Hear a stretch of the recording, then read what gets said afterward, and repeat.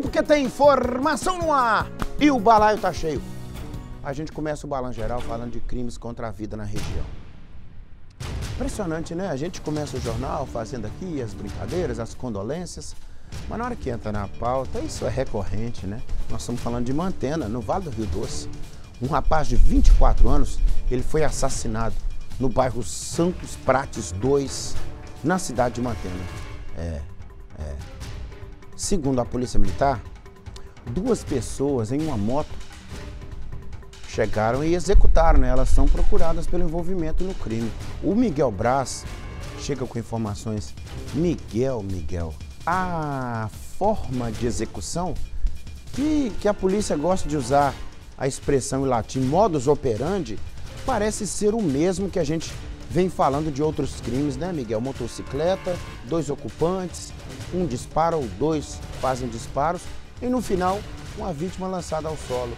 A nossa juventude sendo morta nesse ambiente de derramamento de sangue. Miguel, Miguel. Bom dia para você, Miguel. Informação, amigo? Oi, Nico. Bom dia para você, bom dia para quem nos acompanha. A vítima é Paulo Henrique Vicente, de 24 anos, e o crime foi no fim da tarde de ontem. Segundo o boletim de ocorrência da Polícia Militar, o homem estava em saída temporária do presídio e voltaria hoje para o sistema penitenciário. No entanto, duas pessoas, como já foi adiantado, em uma motocicleta, chegaram e atiraram contra o homem. A perícia da Polícia Civil esteve no local e contabilizou pelo menos cinco perfurações no corpo de Paulo Henrique. Após todos os procedimentos, o corpo foi trazido para o IML daqui de Governador Valadares. A Polícia Militar apurou o seguinte, que a motivação pode estar relacionada com informações que a vítima teria repassado à PM, ou seja, informações de um dos suspeitos, que um dos suspeitos teria envolvimento em um crime cometido na cidade. Portanto, é a principal linha de investigação da Polícia Militar. No entanto, as autoridades já têm o nome dos suspeitos, ainda continuam com os trabalhos para localizar. Após o crime, logicamente, eles fugiram de moto e a polícia ainda está apurando este caso. Mas o que temos de informação sobre este crime no bairro Santos Prates 2, em Mantena, são essas. E que o rapaz voltaria para o presídio nesta quinta-feira, Nico. É, Miguel, quer dizer, eles é, já estariam envolvidos então num outro homicídio, né? É.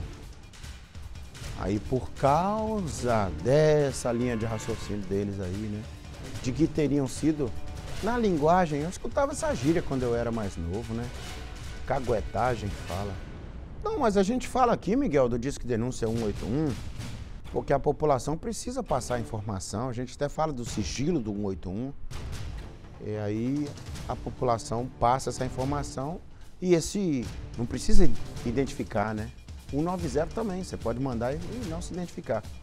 Mas vez ou outra acontece lá da pessoa está próximo à cena do crime, Miguel, e alguém suspeitar que é aquela pessoa que contou alguma coisa para a polícia, né? E nesse caso, se ficar confirmado isso, é lamentável, né? Lamentável. Eles já tinham envolvimento no outro homicídio e quitaram mais uma fatura aí, né? Com, com arma de fogo. É, é, cobrando os prejuízos e as desavenças com a própria vida da pessoa. É, é a nossa região leste-nordeste, né? Pródiga nisso. Misericórdia. Passo para Mantena, Miguel. Meu Deus do céu. Cruz